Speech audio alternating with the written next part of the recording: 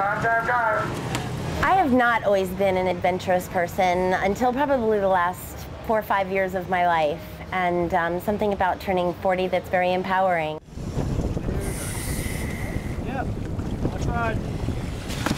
We are launching um, underwater weddings.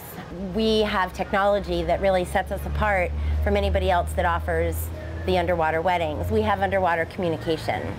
The mask enables us to speak to each other and hear each other underwater.